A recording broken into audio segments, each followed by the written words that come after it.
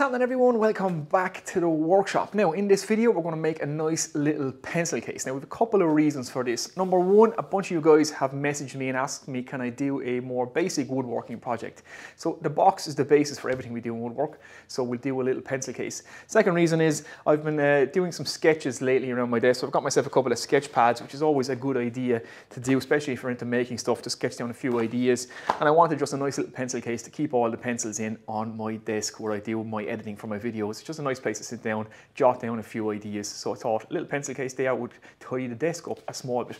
And last but not least, uh, my wonderful wife for my 40th birthday got me this Bad Axe large tenon saw and I've been dying for looking for an excuse to use this. So I've just got it the other day. So I'm going to put this into use in this video. So I'll give you a look at this as this video progresses. You'll see it in action. So I have a piece of spalted beech here that I planked up about a year ago now. This was taken from the river, so it's a nice piece. So we're going to try and get the entire pencil case from this board. So I want to use my tenon saw now, this large tenon saw, to split this board in half to resaw it. It's going to be completely 100% uh, a hand tool project and we'll try and keep it nice and simple because it's going to be a basic enough woodworking project. So without further ado, let's turn this board into a pencil case.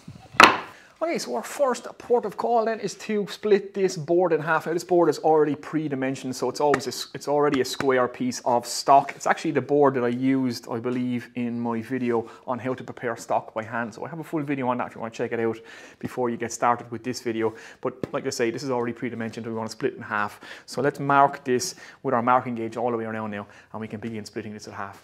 Okay, let's find the center of this board now. I've just set my marking gauge to roughly what I think is halfway. I'm just going to put a little line there and come from the other side and see if that matches up. Now, that does actually match up exactly, which is nice. So it was a pretty good guess. So I know I'm center. Now, if I wasn't center, what I would do, let's just make it not center just to show you. So pull it back a small bit, mark a line there then mark from this side. Now you can see there's a gap between those two lines. So I know my center point is actually in the middle of the two of them now, so I can just adjust my marking gauge to dead center of those two lines. We can mark again and we are bang on. So now we know we have that set to center. Just a nice way to find the center of a board, nice and easy. So we can scribe this line all the way around from our face side, which I already have marked on this board. So we'll scribe this line all the way around and now we can split it. Okay, now that I have my line all the way around, I'm just gonna run my pencil in that marking gauge line just to make it a little bit more visible. Okay, there we go. We have a nice kind of line all the way around that now, just to make it easier for sawing. So let's get on and do that. Okay, we're going to try and split this board in half using this large tenon saw to do it. Now, it's not exactly the ideal saw for this, but it's pretty deep. We have a nice pretty, pretty depth uh, to the spine, so we should be able to do it. I'll have to come at it from both sides, but we're going to start at the corner. That's the best place to start and try and join these two lines. And once we have these two lines running straight, we can get a little bit deeper into the board and we can work our way down the board then. Um, it's just a good way of getting a nice straight cut. So we want to follow two lines at once. So I'm going to start in the corner.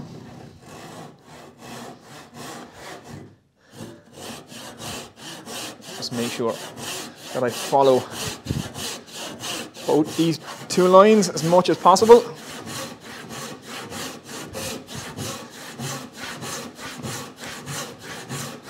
And once I've established my cut and I'm following these two lines, the, the saw should just keep following on down. So we get this one nice and deep. Saw's making short work of this. So we're pretty straight, so that's good. Let's continue.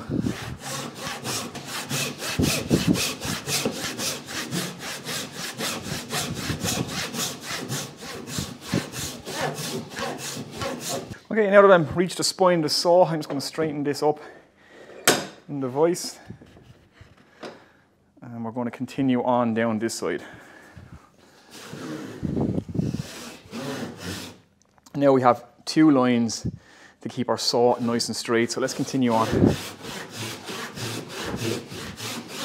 Okay, so I'm just going to continue around my board, just joining up my corners, making sure that all my cuts are lining up and then I can chop straight down through the board. So hopefully it should be pretty good. Now this board is pretty punky here. Like I say, it's spalted beech, so it's very, very soft in places.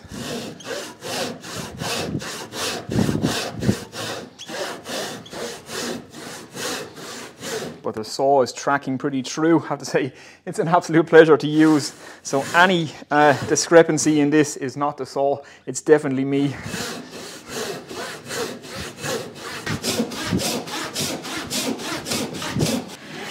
Okay, I'd say we are now through a little bit deeper than that saw is capable of going, but I just really wanted to test it out.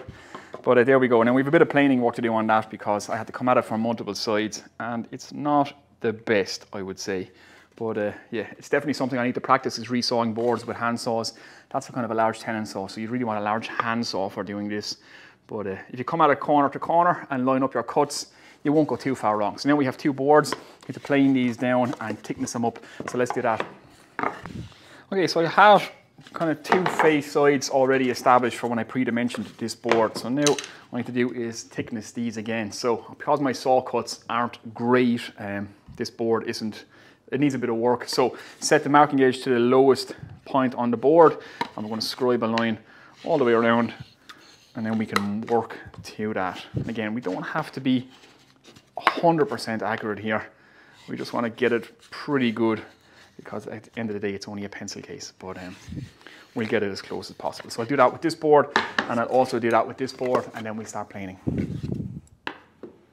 Yes, I'm just taking this thing down to my marking gauge line all around and just checking for flat the whole way down the board. We're almost there.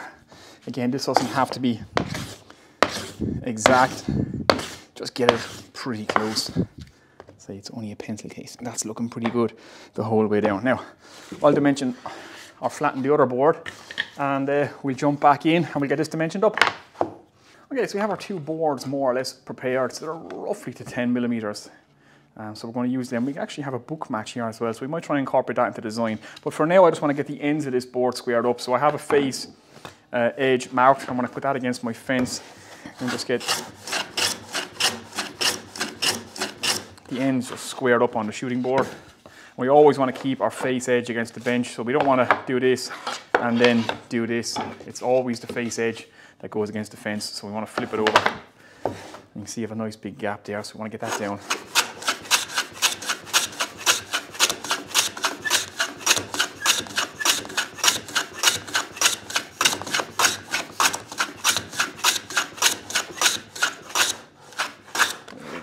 Nice square side on that board and the same with this one. So face the edge against our fence. And again you can see I have a nice big gap here so. Just walk that down do this side. That side is pretty good. I've actually got quite a punky bit of wood here so that's very spongy I say, this is pulled from the river. Okay, now we have our two boards ready to go, so we're going to try and get all our components out of both of these boards. So let's mark this up. Okay, let's get our boards marked out now. So we're going to try and get the best out of this. We have two knots that I'm going to try and maybe avoid these knots if I can. I've also got two checks down here. So it's going to be nice and small. It's just going to be a nice, small, handy little pencil case. It's just going to hold a few pencils, a pencil sharpener and an eraser or rubber. And uh, we're going to try and get the sides and the two ends out of one side of this board and we're going to get the top and the bottom out of it out of the other half. So I've kind of decided on 60 millimeters deep which is about just under two and a half inches. So with my marking gauge. I'm just going to mark that.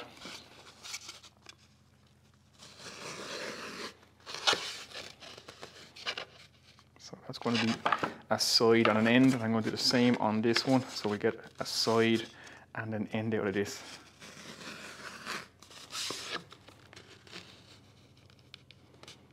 Okay, so we want to cut this now and uh, square this back up. It's going to be nice and small, nice and handy, and then we want to put a miter the edges of these. So let's get on and do that. Okay, I'm going to use my big tenon saw for this as well because I really like using it. And uh, we're going to just cut say a couple of millimeters away from this line. Now, depending on how good you are with a saw, the closer you can get to this line. I'm not the greatest with a saw in the world. I definitely need practice. So I'm going to stay back. We have plenty of material to spare, so I'm going to stay back about three millimeters from that line, and we can work to that line on our shooting board, which is the beauty of the shooting board. So we can give ourselves a little bit of leeway here. We don't have to be too exact, and we can just run on down beside our line.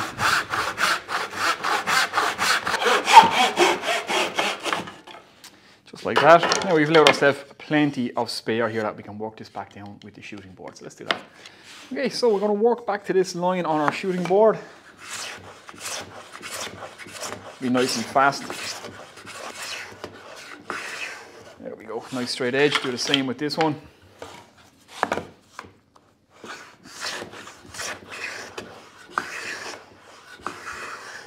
Okay, there we go. Now, I want to dimension these two exactly. We can put the two of them together, just like that. Make sure they're against the fence. We can just take a nice pass down the two of these. Just one or two strokes, that'll do. And now they are identical. Happy days. Okay, so now we have our two pieces dimensioned up. These are essentially the sides and the ends of our pencil case. Now I've just marked a line on the inside top and bottom, so I know that that is the inside top and bottom, and we want to put a rebate now in this. A rebate or a rabbit. uh, I think a dado goes across the grain, am I right in saying that? And a rabbit or rebate goes the length of the grain. Let me know in the comments, I could be getting that absolutely wrong. But we're going to slide in our base and we also want a sliding lid in this. So we're going to cut a six mil or quarter inch uh, rebate or rabbit into this now. So I'm just going to measure five millimeters up from the end. So that's just under a quarter of an inch. Just going to scribe it with my marking gauge. Top and bottom and we'll cut the rebates in this before we actually cut our boards and separate them into their sides and their ends. So there we go. So nice and small, lightweight pencil case, that's what we're aiming for here. And all with hand tools. Okay, let's cut the rebates.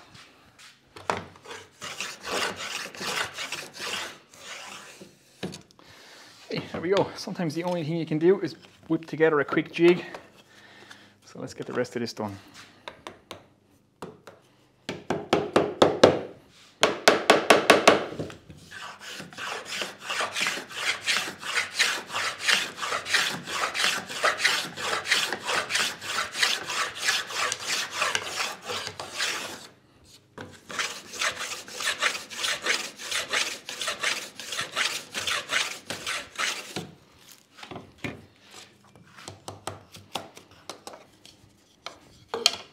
Okay guys, so we have our rebates in top and bottom. And like I said, these are our sides and our ends combined. So we just want to cut the ends off this now. I think I'm to make the width of this pencil case roughly 80 millimeters. So going to mark that here. That should allow plenty of length inside in it for the pencils and say a sharpener and a, an eraser or whatever. So we make it 80 mil in length. So we want to square that across there.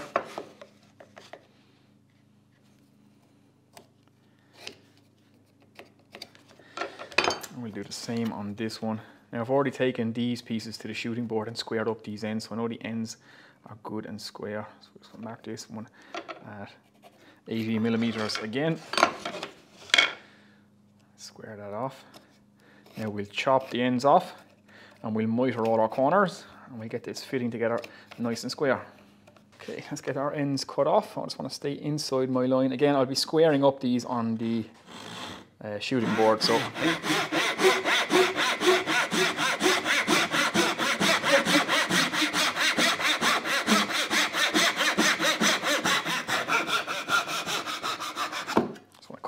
off for now. It's a side and an end, we'll keep them together.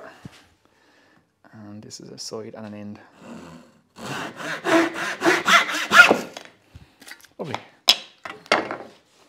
Okay guys, so I've just set up my box roughly to where it's going to go and I've just numbered all the corners so I can see what goes where and it looks like the grain is continuous the whole way around the box which is just a nice little touch so nice and simple so now we want to miter all these corners we're going to do that with our miter jig let's do that Okay, so we're set up with our miter jig. Now I have full videos on making all these jigs. I have a woodworking jigs video, so if you want to check that out, you'll see how I made all this. It's just a simple box at a 45 degree angle, so it holds our piece at 45 degrees to our plane.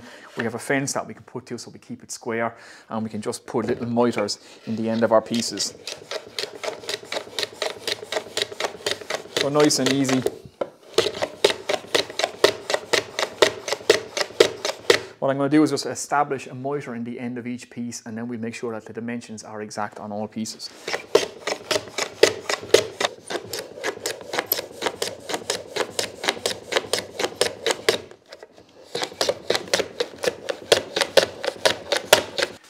Okay guys, now that I have nice little miters on all my corners, I just want to make sure my components are dimensioned the exact same. So I'm just going to line up the two ends of my miters absolutely perfectly on the top.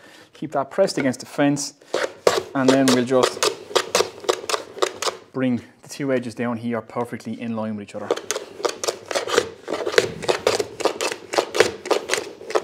There we go. That's the two of those. Now for our ends. They're more or less perfect already, so we don't have much to take off them. Now, we should be good to go to assemble our box. So let's have a look. Okay guys, there's our box.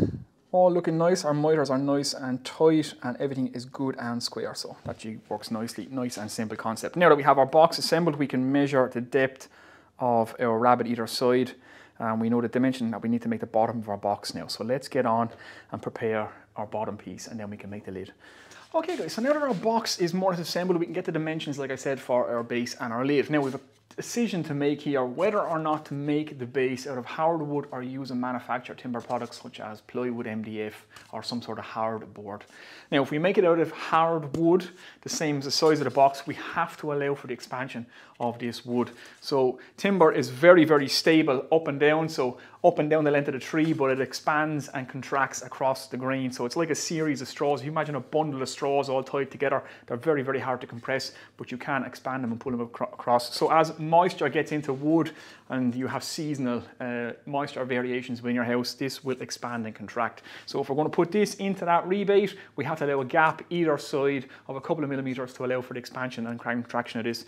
That's a nice kind of delicate little box and that will blow itself apart if we don't allow any expansion room. So I think what we will do is actually put a hardwood base in it, make it nice and pretty, and we'll use a hardwood for the top as well. So we're gonna have to allow for expansion. So let's get on and do that.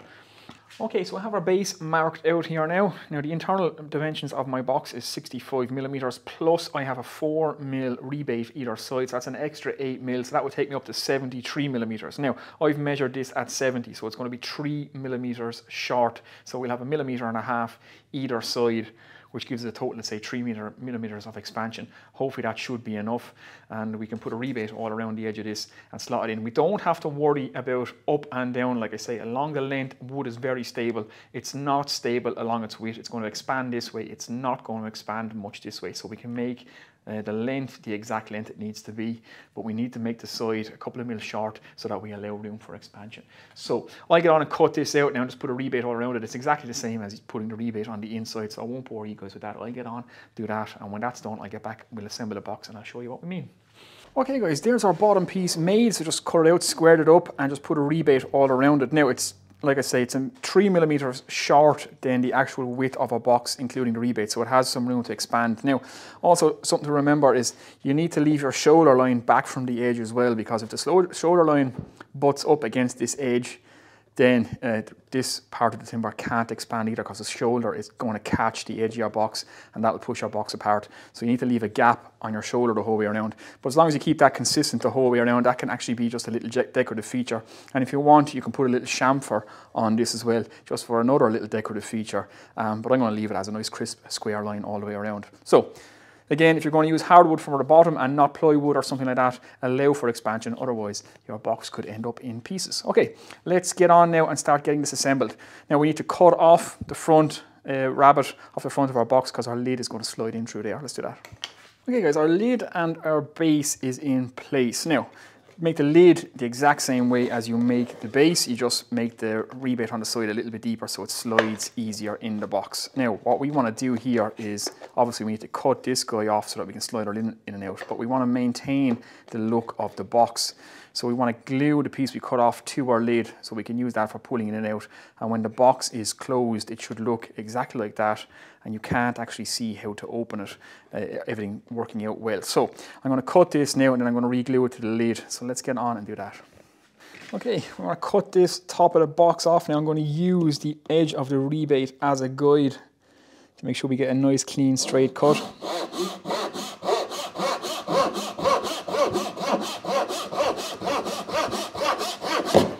Just like that. And now we want to take this piece and glue it onto our lid so that it looks like the box is closed. Okay guys, so the next job we want to do is get the box all glued up and when that's all set up then we can set up this lid. So we want to keep these two pieces, put them aside, make sure we don't lose them. Now, we also want to make sure that we don't glue our base into our box because we want that to expand. So we want that free floating inside in that rebate. So just some glue on the miters and uh, we get this clamped up. Just want to take care that we don't get too much glue in that rebate. If we get a small bit of glue in there, it's not the end of the world. It'll still have uh, room to move and expand. We just don't want to make sure we don't catch it all the way along its width.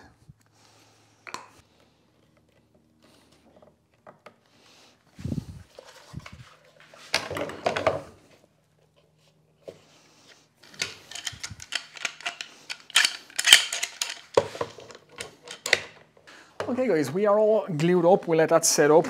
Um, we are perfect corner to corner. So if you ever want to just check that you're square, just make sure you're exact corner to corner, which I am. So that's happy days. So we can leave that now for a little while, let that set up, and when the glue sets up, we'll come back and we'll fit the lid and get a finish on this. So our box is all glued up and our lid is working nicely. So again, nice and loose. We have to allow for that lid to expand as well as the base. And the base is in there and it's not fixed in place. And like I say, it's only a nice, light little pencil case. So gluing up those miter joints will be fine. Uh, we don't have to worry about that. It's not going to take much abuse. But now we want to sort the lid. So we want to get this piece back on so that that matches perfectly up there. And looks like it's all part of the lid and you can't actually see how the box opens. So let's get this glued on. Okay guys, so we want to get our lid in just like that and we want to get this end piece on so that when everything is closed up, it looks like it's all part of the box and we can't actually see how it opens. Just a nice little touch. So we want to fix that to this. We have a little bit of leeway and a little bit of scope. So what I'm actually going to try and do is glue this, but I'm going to use some brad nails as well that won't be seen. I don't have screws that are small enough or delicate enough for this. So what I'm actually going to do is with like a two mil bit, just drill a couple of holes very carefully.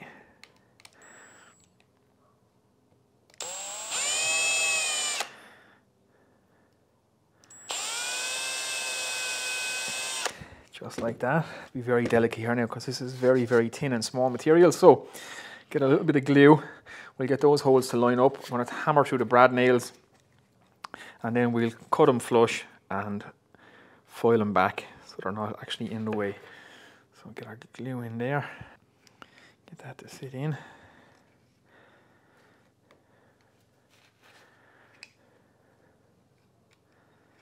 Take our brad nail.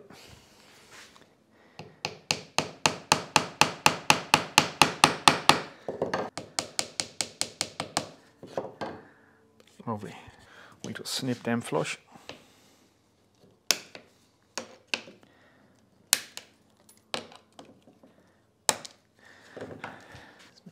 Break through. I'll foil them back and that should hold our lid on. So you won't even see them when they're foiled back. So we should be pretty good to go there. And when that glue sets up, it'll really bond that piece anyway. So there we go. That's how we're going to fix that together.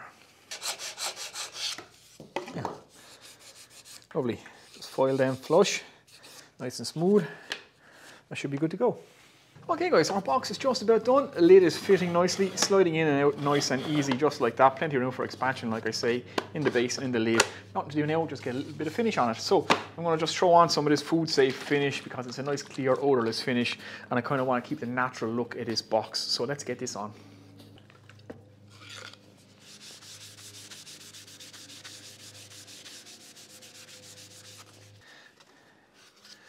Spalted Beech is absolutely lovely in there, as you can see. Right guys, so there we go, the finish is all on and that Spalted Beech looks absolutely fantastic with just a natural uh, oil finish, no colour in it, just the natural colours of the wood, darkens up lovely with the yellows and the browns, golden colours and a bit of spalting on through it, looks absolutely fantastic. So it's a really nice little pretty pencil case, not the only get my pens and pencils into it. I can leave this on my desk as an extra little bit of inspiration uh, to draw and just to imagine some nice things. So it's always nice to have, you know, nice little things to look at inside in the house as well. So there you go guys, a pencil case completely made from hand tools. Right guys, so there we go. A nice little hand tool project all completed. A nice simple one. You guys asked could I do a nice simple hand tool project. There you go. There's some good things to practice in that between your rebates and your miters and getting everything square, practicing with your shooting board, getting some sawing done, a bit of cross cutting, a bit of ripping, um, it's all in there. So again, it's a nice little project, nice and simple, not too complicated, just to practice some hand tools. And it's an absolute pleasure just to come out and to make something completely with hand tools. So hopefully you've enjoyed it guys. Hopefully you got something out of it. Hopefully it inspires you to go make something and even go have a go at this yourself with your own hand tools in your workshop. So if you like that guys, give it a thumbs up. If you're new here, think about subscribing. If you want to support what I do here, links to everything is below. Thanks to everybody over on Patreon who continue to support the channel. Uh, it's really appreciated guys. So I'm going to get out of here now. I shall see you in the next one. Take it easy.